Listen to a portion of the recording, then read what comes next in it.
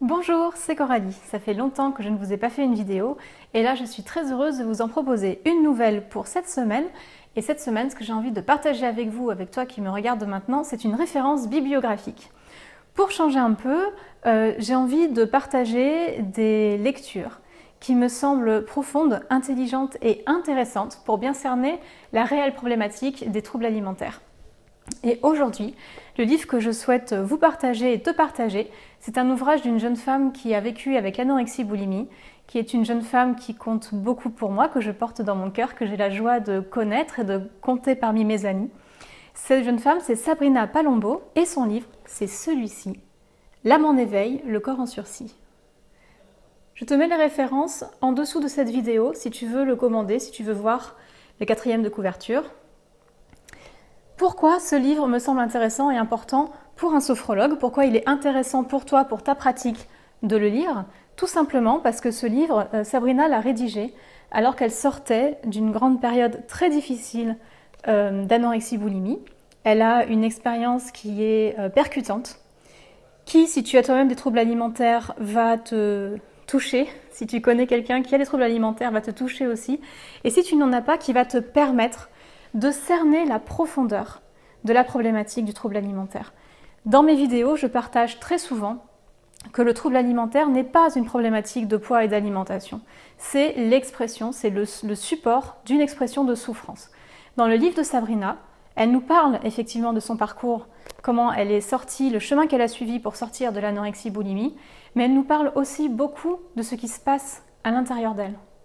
Et ça, c'est un témoignage qui est rare qui est profond et qui permet d'aller beaucoup plus loin que les accompagnements standards. Je pense que tous les accompagnants, sophrologues ou pas, devraient lire ce livre avant euh, d'accompagner euh, une personne qui a des troubles alimentaires, en particulier une personne anorexique.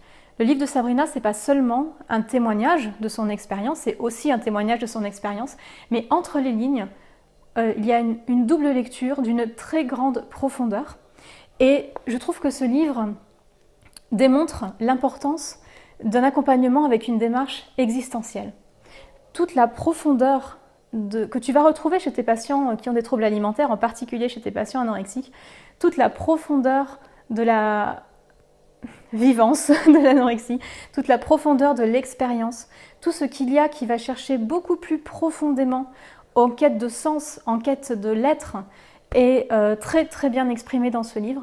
Et je te le recommande donc chaudement pour euh, t'aider à porter un nouveau regard sur l'anorexie boulimie, sur l'anorexie tout court, sur les patients qui ont des troubles alimentaires de façon beaucoup plus générale, sur l'accompagnement qui est proposé aujourd'hui. Sabrina partage des expériences qui sont très puissantes et très percutantes et qui vont euh, permettre aussi de te positionner dans ce parcours de soins. Ça me semble vraiment un ouvrage de qualité et de référence je ne dis pas ça parce que Sabrina est mon amie. J'ai commencé par son livre parce que c'est mon amie.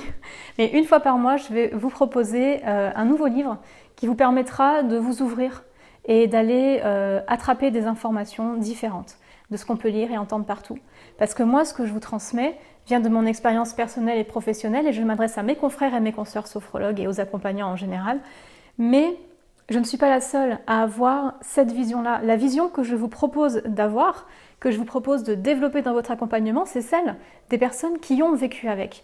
Et dans le livre de Sabrina, tu retrouveras des choses que je te partage déjà, que je t'ai déjà partagées. Ça peut être vraiment un premier point d'entrée pour te permettre de cerner la réelle problématique autour du trouble alimentaire et la profondeur et l'importance de euh, te former de façon plus spécifique sur cette, euh, ce trouble alimentaire-là. Si aujourd'hui c'est pas évident pour toi, il n'est effectivement pas nécessaire de te lancer dans une formation de spécialisation. Mais si tu veux avoir un premier pas, une première petite patte, si tu es curieux et euh, que tu as, ben, on va dire, pas un budget limité, mais que tu es curieux, mais que tu, voilà, tu vas pas investir énormément de temps ni d'argent dans le domaine parce qu'il t'intéresse parmi plein d'autres, eh bien, un livre peut être une magnifique porte d'entrée. Moi, je vais te faire une confidence. Avant de me spécialiser dans les troubles alimentaires, j'étais sophrologue généraliste, tu le sais peut-être, c'est-à-dire que j'accompagnais tous les patients qui venaient me voir, quelles que soient leurs problématiques. Et euh, mon grand projet, quand j'ai fait ma formation, pendant les deux années de formation, j'avais un grand projet qui était travailler sur la, la périnatalité. Et en fait, ce grand projet n'a jamais pris. J'ai fait tout ce qu'il fallait d'un point de vue marketing, stratégie, communication, tout ce que tu veux. C'était pas ma voie, c'était pas ce qu'il me fallait, c'était pas ce qui a marché, ça n'a jamais pris. Et je rencontrais Sabrina. Et quand j'ai rencontré Sabrina, ça a été évident pour moi de euh, me spécialiser dans les troubles alimentaires. C'est là que j'ai compris l'importance que ça avait, le rôle qu'on pouvait jouer, parce que c'est venu résonner sur mes expériences passées et que j'ai je me suis dit j'ai un, joyau, quelque chose à partager. Et eh bien ce joyau que j'ai à partager, Sabrina aussi l'a à partager et elle a rédigé un livre dessus. Donc vraiment je le recommande très très très chaudement. Tu as toutes les références en dessous de la vidéo si tu veux pouvoir le commander. Moi je fais simple, je vais sur Amazon. Maintenant je pense qu'il est disponible sur d'autres plateformes, mais voilà, je te mets le lien Amazon parce que ça reste de loin le plus pratique aujourd'hui. Euh, L'âme en éveil, le corps en sursis, le témoignage, bien plus qu'un témoignage de Sabrina Palombo sur son expérience de l'anorexie boulimie. Je te le recommande très chaudement si tu veux t'ouvrir à la réalité de la problématique de l'anorexie boulimie, de l'anorexie, du trouble alimentaire de façon générale. Voilà. Eh bien, il ne me reste plus qu'à te souhaiter une très belle semaine. On se retrouve la semaine prochaine pour un nouveau contenu passionnant sur les troubles alimentaires. D'ici là, prends soin de toi, prends soin de tes patients et à la semaine prochaine. Bye